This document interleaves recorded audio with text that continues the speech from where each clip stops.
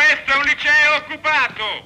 In questo momento gli studenti discutono di problemi essenziali della loro vita, discutono di politica. I signori genitori sono pregati di allontanarsi, di ritornare alle loro case, di guardare la televisione, di litigare con le Permesso? cameriere. Permesso?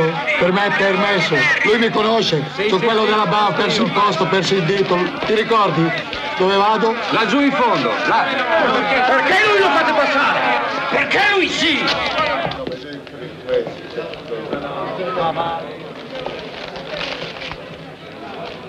Sarebbero studenti anche loro? Siamo migranti siciliani noi. eh.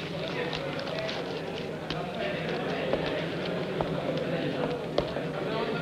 Oh, vado. Scusi. Ehi! Ehi, sono Lolo, sono io. Sono io. Saputo che ho perso, perso il posto, eh? Lo so, lo so. Eh, lo so, lo so, stai qui a dormire. Dico, ma stamattina potevi venir lì. Non possiamo stare dappertutto. Ma almeno tu? Io faccio quello che posso. Siamo ancora in pochi. Ieri eravamo nelle officine, oggi nelle scuole. E domani semmai saremo giù. Lassù, il manicomio con abbracciati. Militina, guarda. Noi cerchiamo col nostro lavoro di far esplodere le contraddizioni per cambiare questo sistema di vita. Ma mi avete cambiato a me che ho perso il posto. È che fino a quando obbedisci al padrone nessuno ti tocca, eh? Poi a un certo punto prendi coscienza e sei fottuto.